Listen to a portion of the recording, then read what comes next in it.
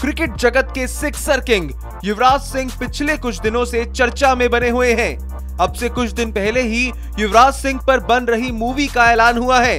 अब युवराज सिंह को लेकर एक बड़ी खबर सामने आ रही है कि युवराज सिंह अब कोचिंग करियर की भी शुरुआत कर सकते हैं।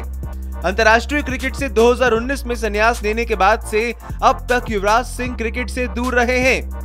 उसके बाद से अब तक युवराज सिंह कुछ क्रिकेट लीग खेलते तो नज़र आए हैं, लेकिन भारतीय क्रिकेट और आईपीएल से युवराज सिंह ने पिछले पाँच सालों से दूरी बनाए रखी है। अब कुछ ऐसी रिपोर्ट सामने आ रही हैं जो इस बात का दावा कर रही हैं कि दिल्ली कैपिटल्स आईपीएल टीम ने युवराज सिंह को कोच बनने का प्रस्ताव दिया है। हालाँकि अभी इसके ऊपर कोई आधिकारिक पुष्टि नहीं हुई है, लेकिन सूत्र इस बात का दावा कर रहे हैं कि युवराज सिंह को कोच बनने का ऑफ़र दिल्ली के साथ साथ गुजरात की टीम ने भी दिया था।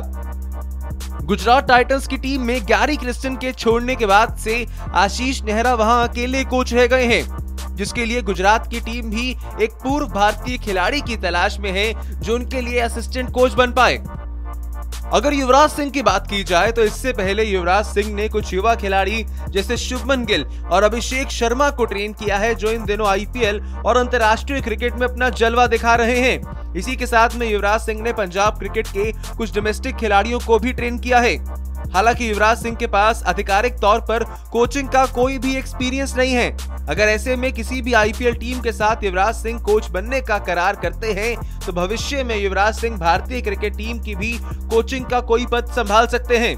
बता दें कि दिल्ली कैपिटल्स की टीम जिन्होंने युवराज सिंह को ऑफ़र दिया है, वे आईपीएल 2022 से आज तक कभी भी प्लेऑफ में नहीं पहुँच पाई है।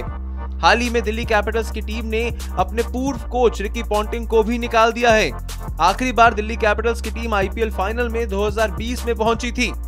आज तक कभी भी दिल्ली कैपिटल्स की टीम आईपीएल खिताब को अपने नाम पर नहीं कर पाई है। हालाँकि अभी दिल्ली कैपिटल्स की टीम में सौरव गांगुली बतौर डायरेक्टर हैं। इससे पहले माना जा रहा था कि सौरव गांगुली ही कोच और डायरेक्टर दोनों पद को संभालेंगे। लेकिन अब ऐसा नहीं है। दिल्ली कैपिटल्स की मैनेजमेंट एक भारतीय कोच की तलाश में है।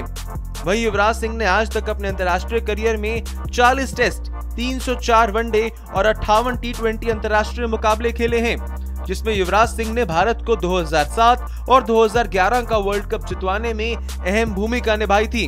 अब ऐसे में देखना होगा कि क्या युवराज सिंह दिल्ली कैपिटल्स की तरफ़ से आया हुआ प्रस्ताव स्वीकार करेंगे और क्या दिल्ली कैपिटल्स की टीम की कोच की तलाश खत्म होगी।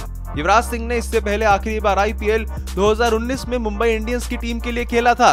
और ऐसे में जिस तरह की ब्रांड वैल्यू और पॉपुलैरिटी युवराज सिंह की है, युवराज सिंह का किसी भी आईपीएल टीम के साथ जुड़ना ज़रूर उस टीम को कोचिंग के साथ साथ बाकी और आर्थिक फ़ायदे भी करवा सकता है।